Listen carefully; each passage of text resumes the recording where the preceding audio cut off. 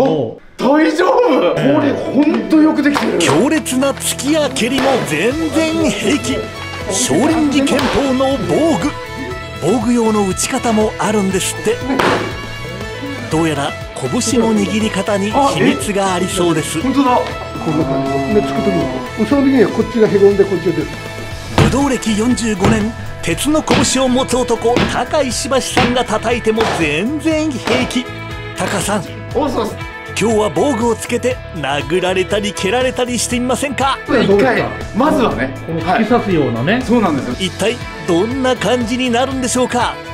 お座りいただいて着座ああありがとう川島優斗先生防具の付け方お願いします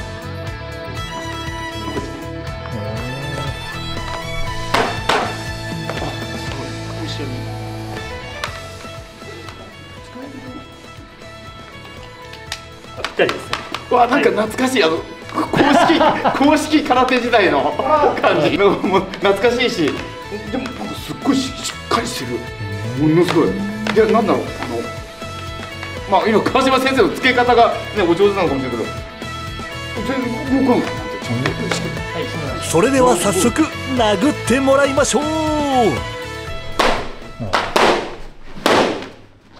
おお大丈おおどう？どうですか？意外にそんなに衝撃が来ないんですね、こうん。れ2つあるから。そうなんですよ。すげえ。でもでもすごいですよ。やっぱり体重がこうつってくるのはものすごいくる。これだけの突きですよ。ですごいよね。これだけの突き衝撃をちゃんと吸収してくれてるの。あこれどうなってんの？あな中も硬いんだ。そうです中もはい。硬いもの同士はこへえすごいな。あでもちょっとびっくり。ほうすごい。ちゃんとな中の人安全テレフォンショッピングだったらまあいやいやいやねおいくらですか？え。ねえお高いんでしょうって。すごい。いよいよ井上先怖いなちょっと最初井上先生の横蹴りを。ゆっくりめでゆっくりめでお願いします。ゆっくりゆっくりあ年はなんか同い年なんですって？同い年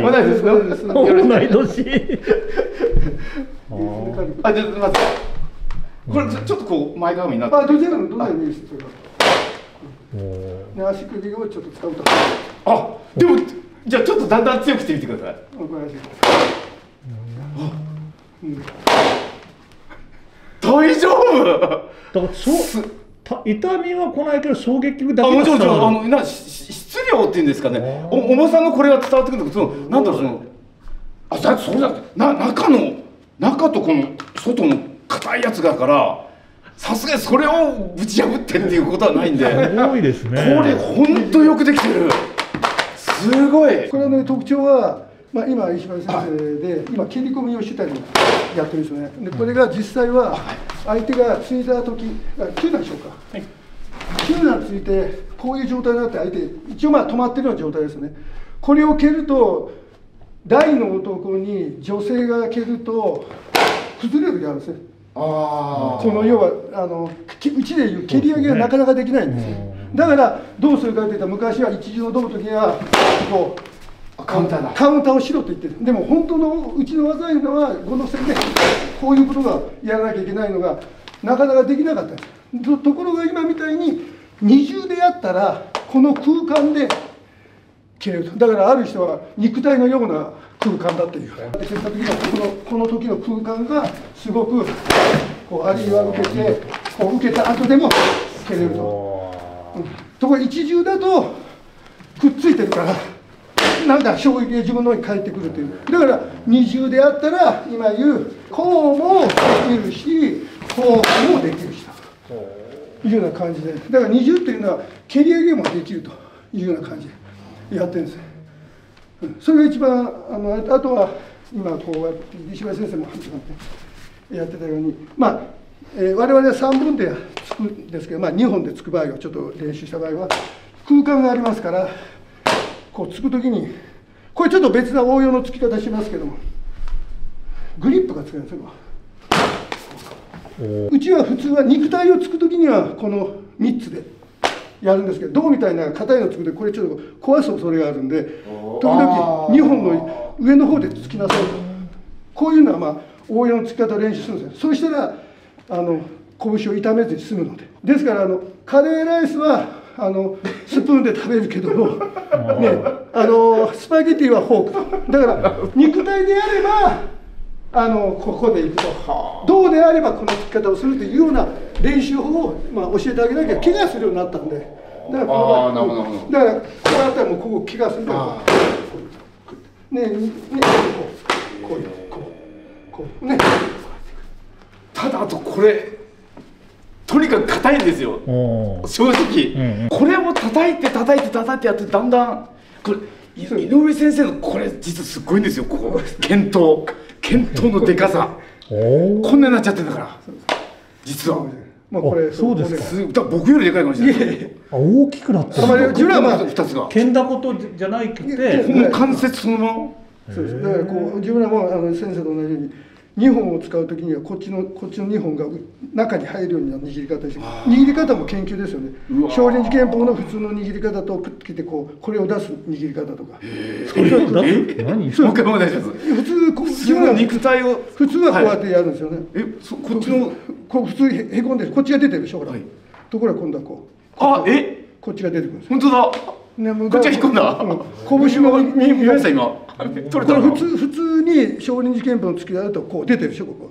こういう握りが自分こうここがこう消えてるでしょいう感じですね。そう、うん、でこっちの方からまあ先端なんでしょ。で今度こうこうやるんです。よ今度こっちが出てくるこういう使い方です。よねだからその時にあの防防具の防具をやる時には自分らこうこうやって学生にも教えてくこれ手首の角度も角度あそうそうそう当然そうですよね。というのはどういうかというとこ今言ったようにここうです。このあここがこうの時とこうの時ですよね。ねだからそういうことか。ついた時にこうだけどもつくまでつくのつく瞬間はまあまだこんな感じででつく時にこう。その時にはこっちがへこんでこっちが出るとあそういうことか、で肉体をやる時にはこのこのままでこうついていく。うわだからだからあの拳の握り方もいろいろと研究をしてわかんない。自分が怪我するから。それはまあ学生に教えたりもするんですけど。であとは本当にとに思ったのがそのこんだけ硬いやつをそのついたり蹴ったりするのって、なんだろうその正確な突き方と当て方それからその手首のちゃんと締めとかができてないとたちまちやれちゃいますよね。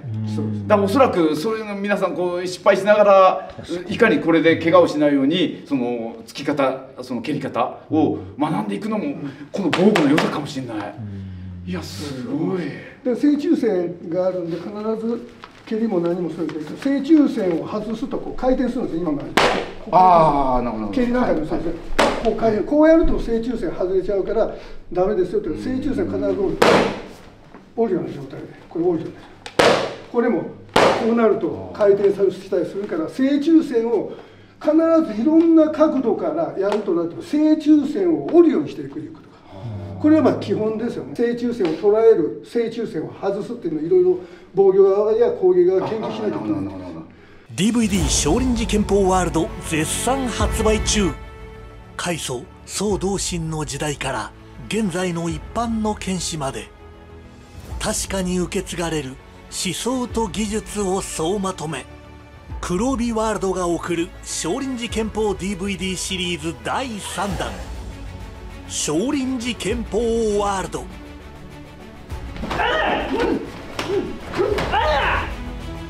井上博夢の特別講習。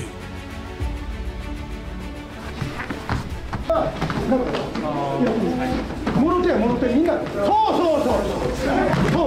みんな並列に動く同時に動く演武の本質と修練法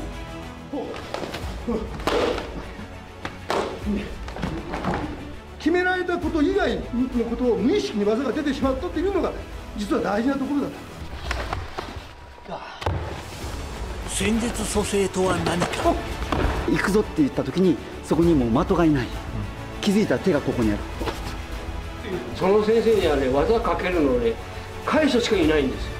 直弟子たちが語る開祖の姿。こっから取るからかからんのや。ね。こうかけようっていう。こんないたのになんでこんなバシン投げるんでちょっと俺手加減してください言うから。バカもん実際にやるとかコンクリの上やろまあ板の上やとかましやお前そんなんやったんですよ。全てがつながる少林寺拳法ワールド DVD2 枚組全4時間絶賛発売中。少林寺拳法シリーズ1作目2作目もぜひお買い求めください。